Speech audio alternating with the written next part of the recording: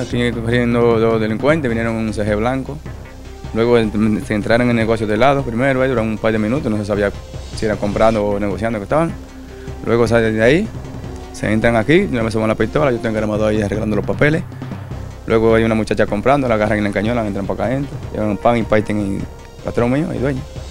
Luego los pagan, encañonan, recogen el dinero de aquí, entran adentro, ahí están los que vean allí, los llevan todo el dinero. Ya. Más o menos no sé decir, pero se llevan de 40 para allá. Ayer llegaron unos tipos aquí, unos delincuentes, y metieron a la casa, estaban una hija del esposo mío, llegó aquí y me agarró a mí por la mano y se metió aquí a colmado. Y se llevó un ron, se llevó dinero, se llevó un teléfono y nos amenazó, nos apuntó la, con la pistola y salió como nada, ya tú sabes, uno aquí sin poder moverse para parte, porque si uno se movía y ese tipo andaba de una forma que era acabar con uno que estaba. ¿Logró usted identificarlo? No, mi amor, no sé quién son. El llamado que usted le hace.